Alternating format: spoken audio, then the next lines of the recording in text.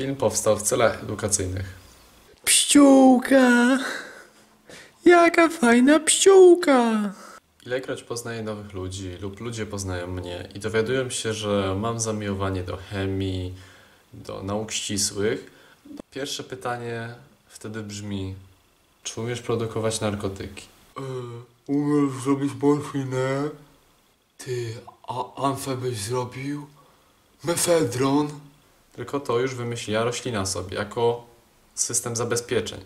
Taki mak, no to on ma tylko po to te soki, żeby ewentualnie jakiś napastnik, który zamierza sobie tą roślinkę wchłonąć, żeby się mocno struł. Tak samo jak na przykład e, lulek czarny, psiankowate wszystkie.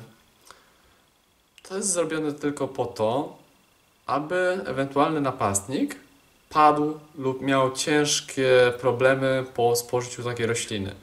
A człowiek nauczył się tego wykorzystywać w niekonwencjonalny sposób. Mamy dwie strony medalu. Jedna strona jest działanie lecznicze i nie, nie wciskajcie mi kitu o leczniczej marihuanie albo tego typu. Szpitale po ciężkich operacjach, sam gdy się leczyłem, z nowotworem walczyłem, podawano mi jednorazową morfinę zaraz po operacji. Dwa. Użytek nielegalny, zabroniony przez państwo, ćpuni. O ile z tego mamy pożytek taki, że uśmierzamy ból e, osobom ciężko chorym, przypadkom paliatywnym, e, o tyle drugi przykład no nie ma w żaden sposób sensu i to jest nie wiem jakiej kategorii to wkładać nawet. Ale dzisiaj nie o tym, bo większość ludzi nieprawidłowo myśli, że synteza organiczna od razu łączy się tylko i wyłącznie z jednym, czyli produkcją narkotyków, broni, środków odurzających i tego typu. Wiele substancji organicznych, e, które są niebezpieczne, wykorzystujemy na co dzień.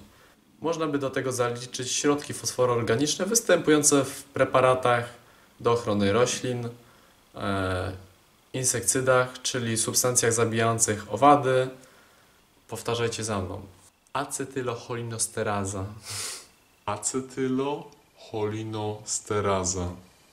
No to ogólnie polega na tym, że związki fosforoorganiczne blokują tą substancję i obojętnie który organizm wykorzystuje tenże związek, to po zablokowaniu ma przerąbane. Zajmiemy się dzisiaj bardzo pożyteczną rzeczą, mianowicie chlorobutanol. Chlorobutanol był kiedyś stosowany jako środek odkażający, do dzisiaj jest nieraz stosowany, oraz jako środek usypiający. Warto zaznaczyć, że wszystkie związki, które mają właściwości usypiające i są na bazie chloru, są niezwykle toksyczne dla naszego organizmu. Chloroform nie działa tak, jak Wam bajki opisują, albo filmy science fiction i ewentualnie sen toksyczny może być Waszym ostatnim snem. Wiecznym. Doświadczenia nie powtarzamy, nie naśladujemy.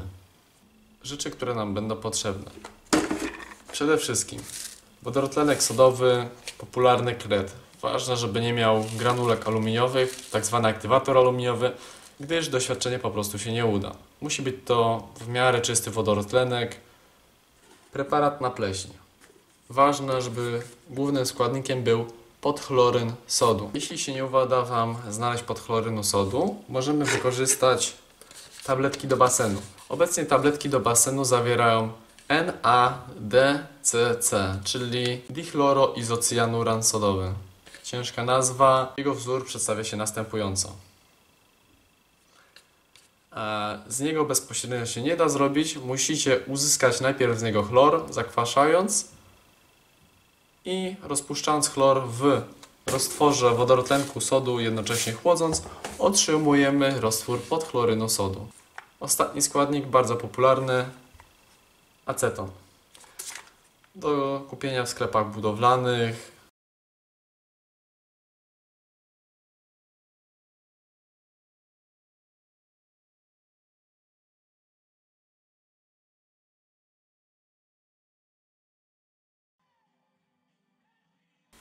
Z dwóch butelek takiego środka na pleśni uzyskujemy mniej więcej całą taką buteleczkę chloroformu.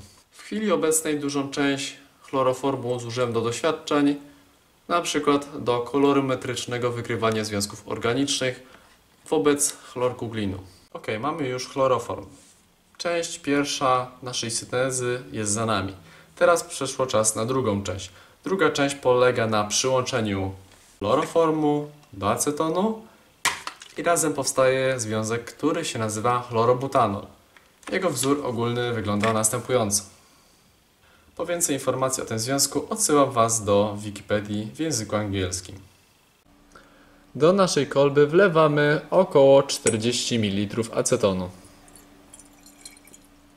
Odmierzamy 5 ml chloroformu. Także wprowadzamy go do naszej kolby. Po dokładnym wymieszaniu całość schładzamy poniżej zera, tak aby reakcja nie zachodziła powyżej 8 stopni Celsjusza, kiedy będziemy dodawać wodorotlenek sodowy. Tu macie nasz mocno zmrożony chloroform i aceton. Naszą ciecz przelewamy do czystej kolbki.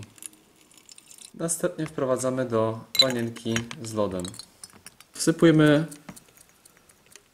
bardzo drobny wodorotlenek sodowy. Robimy to bardzo ostrożnie, gdyż ciecz się może ogrzewać, a pamiętajcie, że nie możemy sprawić, aby podniosło się to powyżej 8 stopni. Nasza ciecz powoli mętnieje. Cały czas ją chłodzimy w wodzie. Po dodaniu całego wodorotlenku sodowego reakcja musi trwać co najmniej jeszcze godzinę w lodzie. Całość sączymy przez gęsto ubity korek z waty.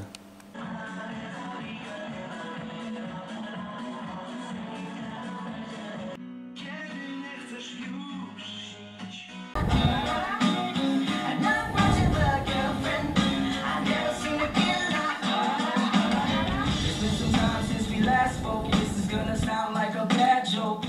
But mama, I fell in love again. Is it to say I have a new Nasz chlorobutanol przedstawia się następująco. Spoczywa on zarówno na powierzchni, jak i na dnie. Jeżeli wasz olej nie będzie chciał wykrystalizować, wystarczy, że wlejecie go do zimnej wody, a następnie energicznie będziecie mieszać całość za pomocą szklanej bagietki. Pamiętajcie, że chlorobutanol jest substancją lotną, zupełnie tak samo jak naftalen. A tak wygląda już nasz krystaliczny, oczyszczony chlorobutanol.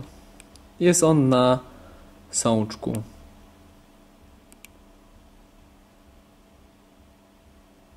Jak sami widzieliście, synteza organiczna nie należy do najprostszych, stąd też przez młodych pasjonatów często bywa odrzucanych. Sam bardzo długo nie lubiłem chemii organicznej, gdyż wszystko to, co się działo, było czasami poza małą kontrolą. Przekroczenie temperatury chociażby o 5% zmniejsza gwałtownie e, wydajność. E, Nie mamy pewności co do tworzenia się związków, jego czystości. E, Musimy postępować bardzo ściśle według receptury.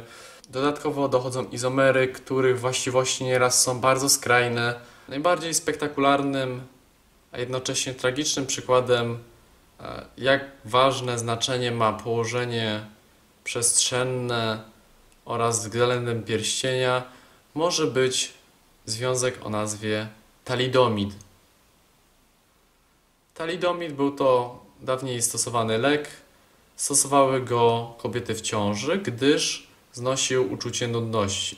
Okazuje się, że ludzie nie byli świadomi, że produkując tą substancję e, zawiera izomer. Izomer pewien, który tragicznie się skończył dla tych dzieci, których matki brały e, ten lek. O czym obszernie możecie poczytać w internecie. Ogólnie nie polecam Wam wchodzić w grafikę, chyba że chcecie do końca następnego dnia nie spać. No Dzisiaj to by było wszystko. Widzimy się w następnym filmie.